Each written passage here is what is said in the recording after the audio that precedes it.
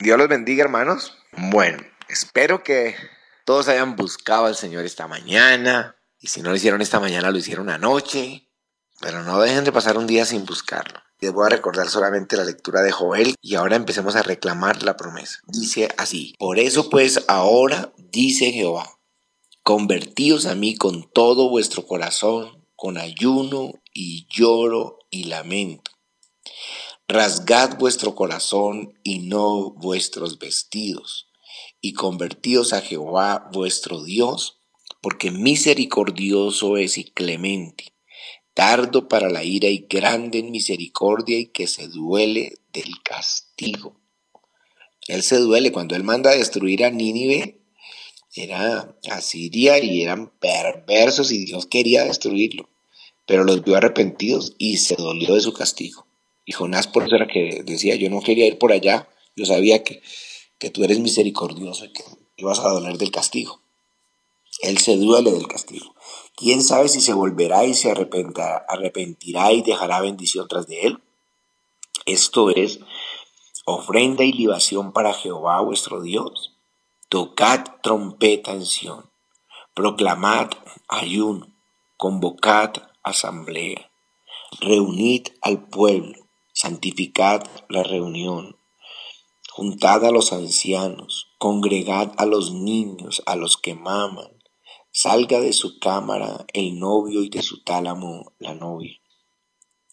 Entre la entrada y el altar lloren los sacerdotes ministros de Jehová y digan, perdona, oh Jehová, tu pueblo, y no entregues al oprobio tu heredad para que las naciones se enseñoreen de ella. Porque han de decir entre los pueblos, ¿dónde está su Dios? Y Jehová, solícito por su tierra, perdonará su pecado. Ahí está el clamor pasado, perdonará su pecado después de que ayunaron y clamaron y se arrepintieron. Responderá Jehová y dirá a su pueblo, y aquí yo os envío pan, mosto, aceite, y seréis saciados de ellos, y nunca más os pondré en oprobio entre las naciones. Haré alejar de vosotros al del norte, y lo echaré en tierra seca y desierta. Su faz será hacia el mar oriental y su fin al mar occidental. Y exhalará su hedor y subirá su pudrición, porque Jehová hizo grandes cosas Tierra no temas, alégrate y gózate porque Jehová hará grandes cosas.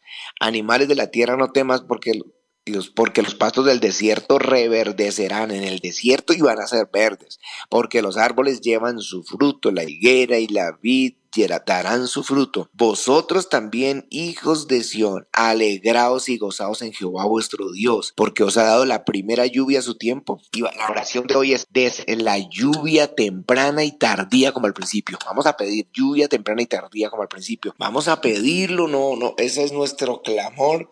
Tuvimos un derramamiento del Espíritu, vamos a pedir lluvia temprana y tardía. Las ceras se llenarán de trigo, los lagares rebosarán de vino y aceite. Y os restituiré los años que comió la oruga, el saltón, el revoltón, la langosta, mi gran ejército que envié contra vosotros. Restitúyenos, señores, restitúyenos, a pedirlo. Comeréis hasta saciaros y alabaréis el nombre de Jehová vuestro Dios, el cual hizo maravillas con vosotros y nunca jamás será mi pueblo avergonzado. Conoceréis que en medio de Israel estoy yo y que yo soy Jehová vuestro Dios y no hay otro. Y mi pueblo nunca jamás será avergonzado. Nunca jamás será avergonzado. Y después de esto derramaré mi espíritu sobre toda carne. Y profetizarán vuestros hijos y vuestras hijas y vuestros ancianos soñarán sueños y vuestros jóvenes verán visiones y también sobre los siervos, sobre las siervas derramaré mi espíritu en aquellos días y daré prodigios en el cielo y en la tierra, sangre y fuego y columnas de humo y el sol se convertirá en tinieblas, la luna en sangre, antes que venga el día grande y espantoso de Jehová.